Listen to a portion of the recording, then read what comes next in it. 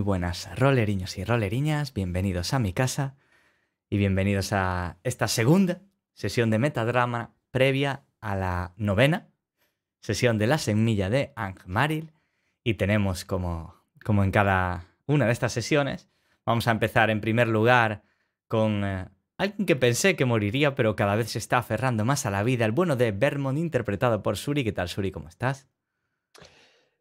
Vamos a mentir y decir que estoy absolutamente zen, maravilloso y con unas ganas, que esto sí es cierto, de jugar increíbles, pues no soy el que va a morir. Y eso, el saber que la espada de Damocles eh, le gustan las chicas oscuritas y drows, pues a mí me da una alegría absolutamente increíble. La verdad es que sí que es verdad que la, la sombra de la parca se está cerniendo sobre Gael Zatar, interpretada por Hiromi. ¿Qué tal, Hiromi? ¿Cómo estás? No sé por qué dice eso, solo tres de las cinco han muerto, aún tengo. Siempre podría ir peor. Eh, yo solo voy a decir dos cosas. Eh, punto número uno, esto es racismo, me, persigue por ser negra, ¿sabes? Punto número dos, quieren acabar conmigo por ser mujer token, así que si podéis seguir votando para salvarme. Siempre podemos, siempre podemos matarte y traer a otra mujer token, eso ya habría que discutirlo. Eso es que, vamos a ver, estás intentando hacerlo como así como muy suave, sin que se note que estás intentando echarme, ¿sabes? Pero está quedando un poco llamativo ya. En el papel de Emir Bamadis tenemos al hoy eh, sonriente y, y apacible Pedro. ¿Qué tal, Pedro? ¿Cómo estás? Estoy muy bien, muy, muy a gusto. Me encanta jugar al rol y me gusta estar con vosotros y me gustan mucho los personajes. Así que nada, disfrutar. Y por último, pero no menos importante, hoy le hemos dejado para el final a la mente magnánima y creativa de este, de este setting, al todopoderoso y al inigualable Sirius Senra. ¿Qué tal, Sirio? ¿Cómo estás? Pues ya henchido de eco con semejante presentación. Pero bueno, también un poco triste porque estamos comenzando la, pentalogía del final de nuestra aventura. Exacto. Es el primero de los 20 capítulos que quedan para terminar. y es muy triste porque... Con muchas ganas de jugar. Y bueno, eh, yo creo que ya sin más dilación, yo ya me conocéis, soy Víctor, interpreto a Olgo y, vamos a hacer una sesión de metatrama. Eh, yo os, diría... Para nada, mientras, básicamente. Mientras me voy a por una cerveza eh, y empiezan mis compañeros, os diría que, os fijéis en Sirio porque es la cara del que no le importa una mierda lo que digamos. Así que vosotros ir mirando a Sirio cómo lo va a pasar de puta madre. Incluso yo me lo imagino quedándose pensando ya en lo que nos va a hacer. Pero, compañeros, si queréis poner una música muy light y poneros ya a charlar, yo vuelvo en un segundo que se me olvidó coger mi, mi beberash. Estoy buscando música. Mi primera pregunta de metatrama es para Sirio. Eh, ¿Saldré a la calle yo antes que Emir Bamadis de la isla? no sé. que, llegara, que llegara antes. Creo que lo vamos a lograr. Es que depende de nosotros. Hay algo hermoso en la simetría y que sea simultáneo mm, me parece súper bonito. sí, la verdad es que sí. Eh, yo sé quién va a salir antes. me quedan dos Galwin, así que yo seguro que termino antes. ¿Qué quieres decir buscando, Hay que ir buscando un sitio ya un agujerito por, por Zapultepec en el que digas tú, qué bonitas vistas, qué bien se está aquí. Bueno, pues me tiro y al muertedero. Atención, atención, orden del día. El primer punto que vamos a tratar es la multidisponibilidad de Galwin Zatar. a ver que cada, uno ha entendido. Yo creo que tú lo entendiste bien, ¿no? ¿Qué es eso de que te has dividido mucho? Porque todo el mundo decía, sí, sí, sí, pero Víctor ponía cara de qué me estás cantando.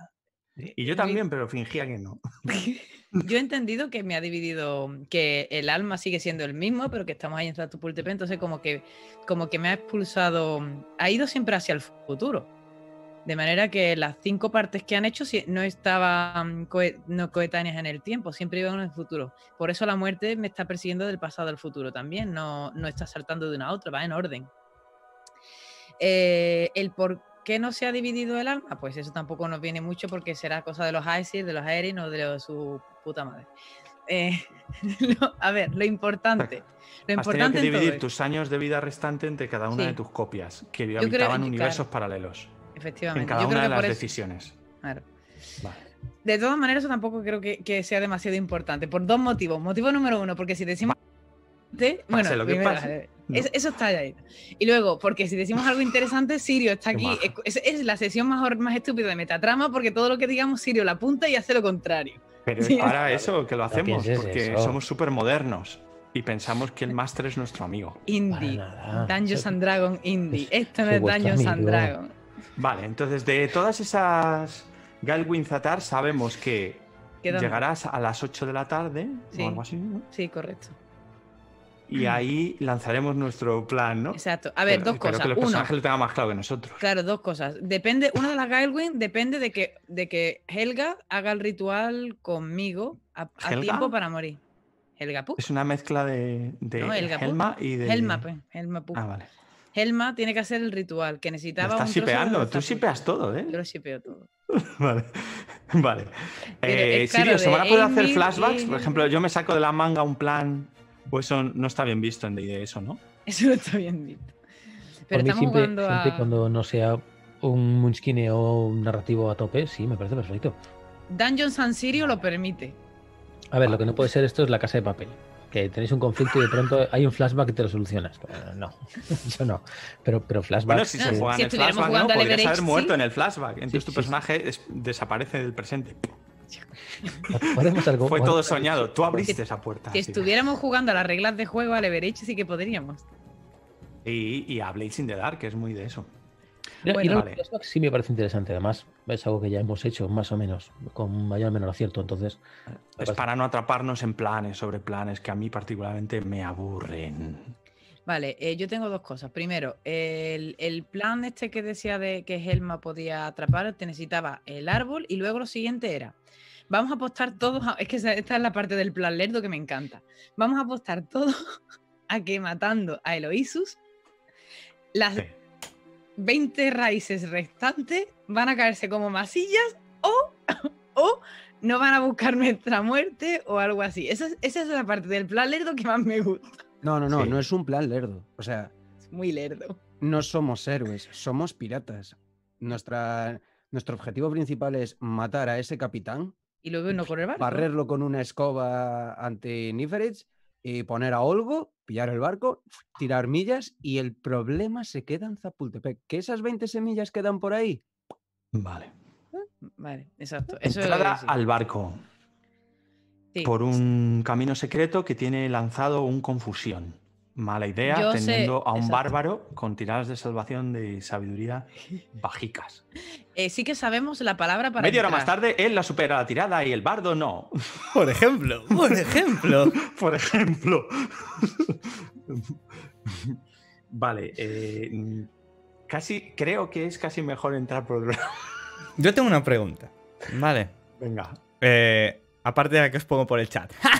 Pero tengo, tengo una pregunta. Em, ¿Vosotros creéis que el barco va a estar solo? Porque claro, nosotros estamos, eh, estamos hablando de, de entrar por un camino secreto, ¿no? Que está eh, bloqueado por eh, una, un hechizo. Pero ¿y si hay alguien dentro? Si hay alguien defendiendo ese cuerpo, aunque sea algún tipo de, yo qué sé, de defensa, de defensor, algún tipo de, yo qué sé, constructo, yo qué sé, ¿sabes? Por deciros algo. Eh, yo creo que es mejor que la gran mayoría de gente habilidosa que pueda pasar esas tiradas de salvación, ¿vale? Vayan por ese camino y que otro grupo vayamos por un, por un camino un pelín más frontal. A ver, contamos con una cosa, que es que se supone que, que Loisus a ver, eso es mentira, porque se supone que Eloisus no sabe que tú lo sabes, por ejemplo. O puede pensar que, porque sí que es cierto que, y otra cosa que también pensamos es que Eloisus no sabe que Vermont ya no tiene el bicho que tenía en el estómago. Así que, por ejemplo, tú y Vermont podéis entrar por la puerta principal, por ejemplo. ¿Por ejemplo? ¿Vale? Porque él no sabe, pues, si, si, piensa que Vermont ya es totalmente raíz suya, pues es normal que vaya. Mm lo digo más que nada por eso, porque eh, mm, tengo. Miedo no es la palabra, pero tengo la duda de que eh, haya gente en el barco o seres o lo que sea que defiendan a, este cuerpo y nos la líen. Entonces, igual, yendo de, manera un poquito más frontal, aparte de que vamos a llevar a la tripulación de, de Kaira Eh, y, supongo que el sacerdote, el clérigo, sobre todo para. El sacerdote, aparte de para atacar, ¿nos sirve también contra las piedras o qué cojones? Era para, para imbuir las armas en fuego, ¿no? Sagrado. Entonces, yo creo que por ahí, además, podemos crear una distracción. Si por lo que sea hay una batalla afuera, vosotros podéis colaros por detrás y, realizar la misión. Claro, sí, eso sería un poquito lo suyo. ¿Y qué hay de eso de nunca dividas el grupo? Eso, es, como una, es como una norma. Esa no era la máxima del principio de la partida, que en cada sesión nos matamos por dinamitar. Vale. Por otro lado, creo que Vermont eh, no va a pasar por uno de los suyos. Ya le ha detectado en sueños, le tiene más que olido y le tiene esperando. Aparte. Y algo ha quitado el hambre, la simiente, la, el gusano que tenía adentro. Pero si no el único que puede engañarle es tu, tu Sire. Sí, Chernaya, ¿verdad? Tu hermano. Eh, eh ¿Qué te iba a decir? Pero a las en las dos horas que tenemos en el que no se comunica con el cuerpo principal, no sabemos si no se comunica, o sea, ahí está la posibilidad de que tampoco se comuniquen entre las raíces y entonces no sepa si Vermont es Vermont o Vermont es raíz. Está ahí. A ver, que no lo sabemos al 100%, pero que también está ahí esa posibilidad de... Es verdad. Sí, pero vamos, lo usaría de acertar. no, mira la cara de... Yo tengo a Sirio aquí a este lado, no sé dónde aparecerá en el vídeo, pero es cara de... Yo me sigo preguntando si es buena idea usar al bueno de Vermont de punta de flecha de todo este ariete.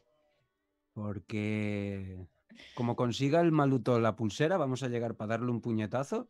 Se va a ir, va a vencer todo. A mí me va a ir solo por la parte delantera con los refuerzos. ¿eh? Me refiero, eh, al final, yo soy el que en un plan de sigilo más la puede cagar. O sea, tengo todas las papeletas. Eh, puede que me salga la tirada, como dice Pedro, pero. Pero si, si, la mitad la conseguimos, ha conseguido el grupo. Bueno, entonces a mí, me, a mí me da un poco igual. Yo propongo eso, pero también me vale eh, entrar por, por, esa tal y protegeros en caso de que haya algún lío. Me quedo yo con el detrás mientras vosotros vais a por el objetivo. Me vale perfectamente cualquiera de las dos. Yo lo decía porque no creo que todos, que todos los, eh, los aliados que tenemos nos vayamos a colar por la entrada secreta. No, claro. Entonces, igual es bien que alguno de nosotros vaya con esos aliados. Pero. Me ha hecho eh, muchísima gracia eh, colarnos todos los aliados. Claro, es que. Me ha parecido. que te imaginado en plan Me ha parecido tope, tope, tope, los Goonies, pero en la pira. Eh, Pasa, despacio. Nos hacemos, nos hacemos amigos de, de, del Nefirit, en plan, mira, te he traído cositas y tal, como en los Goonies. Vale, uso usos tácticos de la pulsera. Huir. Amigo. No, en realidad. Sí, ha sido muy bueno, sí. Gracias. Sí, algo así. Eh, aparecer directamente en el camarote del capitán. Por ejemplo. Por ejemplo, ¿no? Lo que pasa es que no sé si vuestros intentos, vuestros funestos intentos, han fastidiado la cantidad de veces que se puede usar la pulsera. perdona, ¿quién, ¿quién la cagó cogiendo todo de la manita en versión... Eh. Era un experimento didáctico para que Vermont no pareciera gilipollas. Salió mal, salió mal. Pero me refiero que esos cuatro intentos que salieron mal no salieron mal por nosotros, sino por, por tu No, no, no fueron cuatro, ¿eh? Fue, fue uno solo, solo fastidió un viaje. ¿Sí? ¿Sirio? ¿Solo fastidió uno? Sí, me quedaban uno por persona, ¿no? Seis. Mm, eh, sí, quedan cuatro. Era ah, uno por persona, gasto dos, quedan cuatro. Vale. eh, salvar a Gailwin. Estoy saliendo con una daga y tengo que traer savia de aquello que no, sospeche. Que... ¿Sabia era? ¿O tenías que, o tenías que ponerlo en el, en el árbol? Clavarlo en, en el árbol de Zapotepec y traer resina, ¿no? Resina o lo que sea, sí. Resina de algo que sospechara que era Zapultepec. Debe ser que está por todas partes y con que lo sospeches ya casi aciertas. A ver, estamos en Zapultepec, o sea. Por eso. Vale, no, que podría salir mal, ¿no? Eso nos llevará un par de minutos, no, no va a facilitar la sesión contáis? Eh, sé que a Kaira ah, tenéis un cristal para llamarla, ¿no? Sí. que, lo, apriete fuerte con la mano. Sacerdote. Eh, a décimo. y a Chernaya. Sí, el, el, que nos iba a dar el tipo de. Chiquillo, vamos ah, a ver. el, contramaestre. El fusible. El, tipo este de la agravio del señor Cobb. Sí. Le dijo a Vermont, que no me acuerdo del nombre del, del tipo. Agnus. Agnus. Agnus dijo que le iba a conseguir a Vermont el, el clérigo. Si conseguimos con qué pagarle. Porque como sea con pero una que no está cerrado eso, o sea que no, no lo tenemos ya al lado. Joder, tío, ¿en serio? Toda la sesión anterior y Vermont no consiguió su aliado. En teoría, lo conseguido. El, clérigo, en teoría, eh, lo que os iba a aportaros era el fuego sagrado. No significa que vaya a luchar con vosotros, pero bueno, lo convencéis. ¿Cómo se ríe? Otra ¿Cómo sesión. Se ríe de... no, por favor. Yo es que voy a confesar que no quiero jugar esta partida porque puede salir muy mal. Puede morir gente de ahí y me lo paso tan bien especulando sobre lo que podría pasar. ¿No? Votad para el inicio de la pentalogía final. Es que no va a ser pentalogía. Es que va a acabar muy mal. Y yo, estoy, yo no estoy para dramas, ¿eh? Se trasca la magedia. A ver. Estoy sufriendo mucho. Bueno, venga. Se trasca la magedia. Bueno, y, una pregunta con respecto a. Ahora vamos a hacer la pregunta. Entramos en el, capi... en el camarote y pongamos que está ahí Eloisus, ¿vale? Y lo pillamos desprevenido y no, está ahí.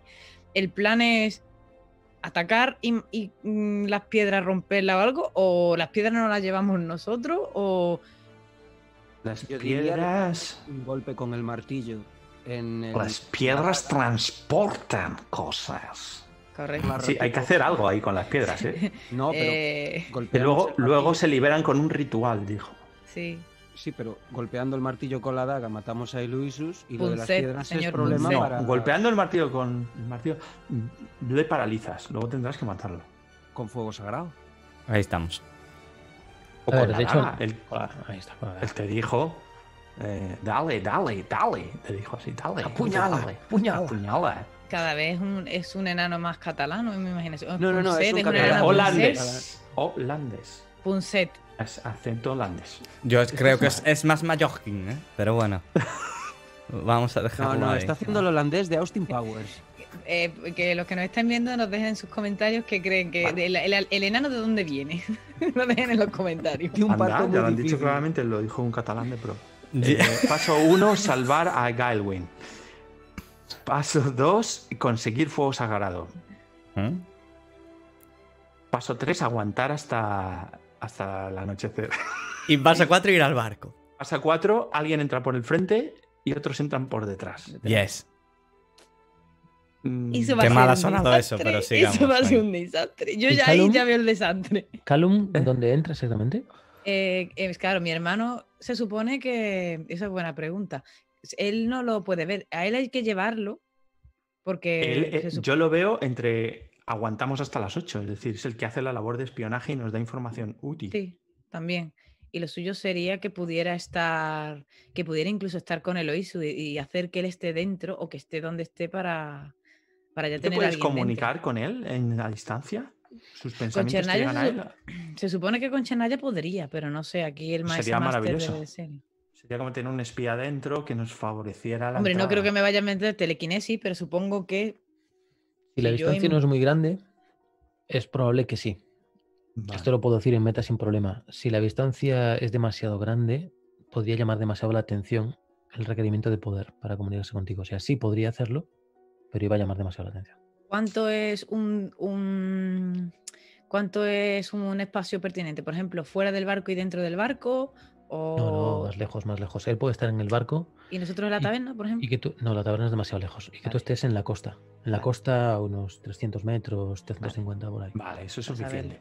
Eso es suficiente. Yo diría que entrara 20 minutos máximo antes sí. de nosotros entrar. Mm. porque tiene un tiempo de detección. No puede estar ahí una hora. No, no, no.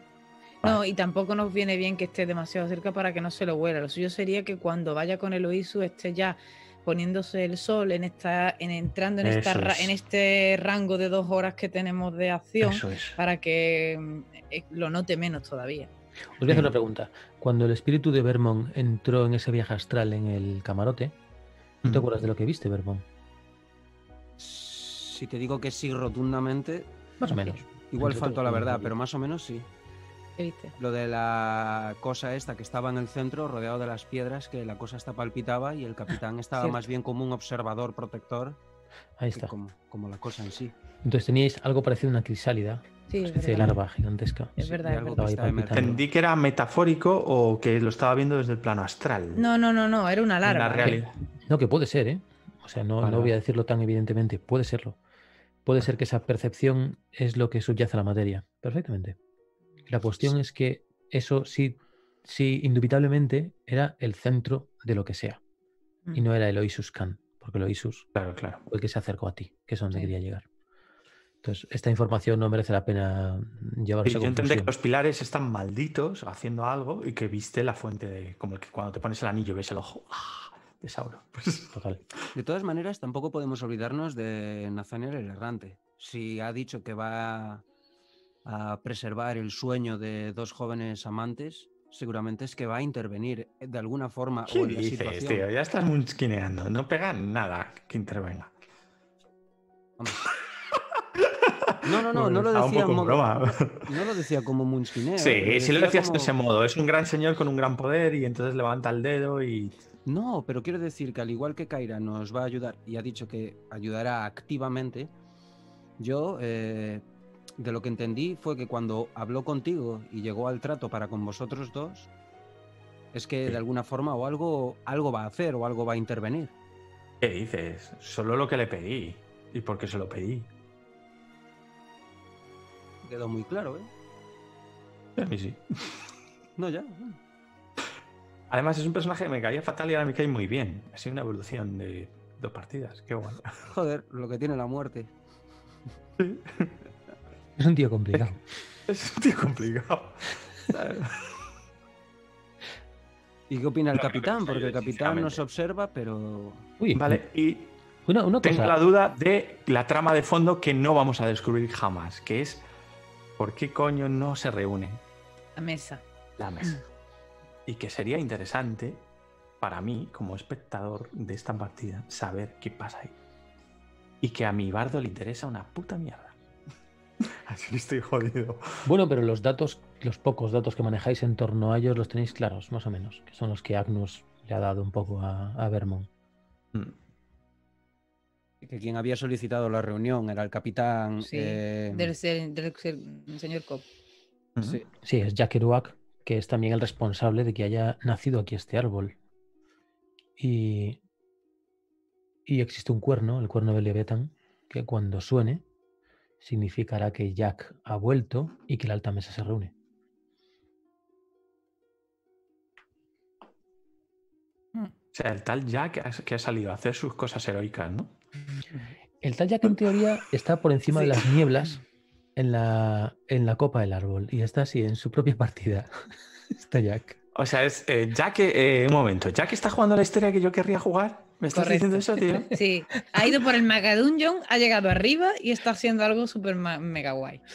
A, los, a, los, espectadores, ¿queréis que jueguen la historia de Jack, no, de Jack Me parece espectacular que me lo esté pasando mira, también, no jugando esa historia. No pasa nada, en estas 20 sesiones que nos quedan, ahora cambiamos de grupo y vamos con Jack Kerouac y la gente que está con él, que ha subido por el Mega Dungeon. Bueno, yo tengo a Helma, que tiene Jack, un puto cuerno.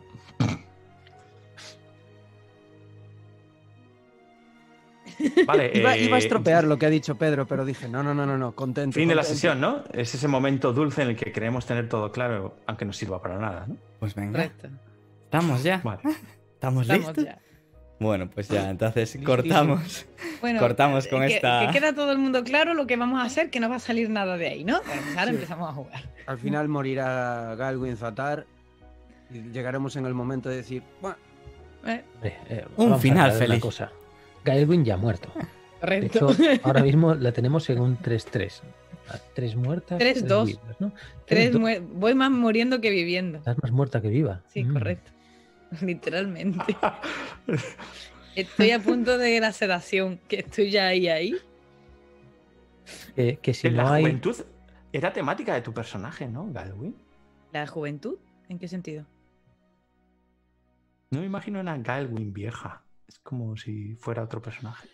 Sí, bueno, a ver, eh, teniendo en cuenta que son elfos, pues yo no veo a Thundrill viejo a lo yo, O sea, yo quiero llegar a ser viejo como Thundrill, ¿sabes? O sea, blandiva cuando hace con el abrigo así. Más allá de eso. Sería muy fuerte que vivas pero vieja. Sería usaba maquillaje. A ver, viejo para un elfo, pues yo supongo que me veo como se ve este hombre ahora en la taberna que dijo el nigromante que también tenía como 50 años. Y Galwin tiene 20 y poco, ahora tendrá como 50 y se verá con esto una, yo qué sé. Tenía mí... blancos ahí ya. Sí, sí, ya tengo el pelo blanco. Yo te, ah, voy a plantear una, una, regla de la casa de meta para tu situación, Gaelwin. Ahora mismo, de las que están vivas, sí. tenemos a dos y a una tercera desconocida que es la que no hemos querido visitar porque parece que ya se metía en mm. el medio de la batalla. Es verdad. Entonces, una está en la taberna, mm. la otra está en una esquina esperando con décimo. La tercera, si quieres ir a la, a la batalla para tener algún tipo de dato a modo de flash forward que os pueda resultar útil a vosotros, va a implicar que la Gaelwing de la taberna haga una tirada contra muerte. Entonces. Y tira alguien por mí, ¿no? Porque yo los dados virtuales me odian un montón. Siento. Este Está garantizado que vayas, pero no que vuelvas, ¿no? Entonces, ¿qué ocurre si Gaelwyn muere? Que el resto de personajes, el resto de jugadores en realidad, tienen que decidir si jugar sin Gaelwyn o que sus personajes se queden en un plano insignificante y avanzar al plano donde la otra Gaelwyn está viva. Ahí me, ha dejado loca. ¿Alguien me lo explica? Pues todo lo que ocurre en la taberna deja de jugarse y deja de ser importante. Vale. Saltamos a la Gaelwyn que está en la esquina esperando con. Jugamos la otra historia en la que Gaelwyn llegó al barco. Vale.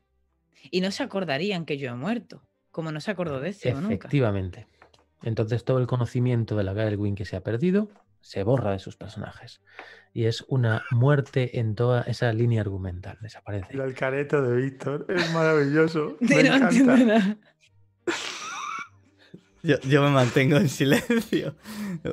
Lo que fuma Sirio, o sea. Tómatelo eh, como tiene, que, tiene que estar bien. Eh, eh, A mí eso me mola y no me mola por una cosa, porque si, si la Galgen que muriera fuera la escalera, o la bueno, que ya ha muerto, o la del corazón, no me importa nada. Pero me moló tanto la escena de la taberna que me dio un montón de pena que se borrara eso.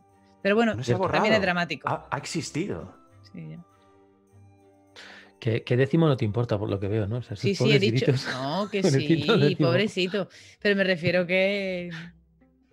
Estoy pensando qué información se cogió en la taberna que compartimos así. Llevó mucha información importante, me cago en la puta. Vale, alguien va a tirar por mí. que no se acordarían ellos, pero tú sí. Yo sí. Claro. Vale, ok. Vale, vale. Es drama. Yo hoy he venido a llorar. A ver, Víctor. Literal. Hemos visto películas de Hollywood que hacen esto y lo ha entendido mi madre. Ha salido del cine diciendo, qué película tan bonita, hijo. ¿Vale? Es esa pareja que ves dos películas. ¿Qué pasó si ella cogió el tren o qué pasó si ella lo perdió? Y ves dos películas y al final solo una es cierta. Y lo llamas serendipity y todo el mundo llora. Entiendo. No es tan difícil. Lo sé, lo sé. vamos, como, como, como resines, ¿no? El sueño. Sí. Hágase, ¿no? Dungeons and Resine, ¿no? Muy bien, todo maravilloso. vale. Estáis negativo. Estáis negativo. Bueno, vas a tirar tú por mí, Pedro. No, no, no, vas a tirar tú porque hoy te va a salir todo bien. Lo verás, lo verás, Hiromi, como sí. Tú no has visto la última partida que yo he jugado de... que ha hecho una incluso una broma en Twitter. Lo vi, lo vi. Pues bueno, pues venga, vamos a jugar entonces. Eh, nos despedimos. Quedará grabada como siempre. Y, espero que disfrutéis de, cómo. Eh, el título del vídeo va a ser eh, Metatrama: cómo hacemos planes y ninguno importa. Nos vemos dentro de un ratito. Chao, chao.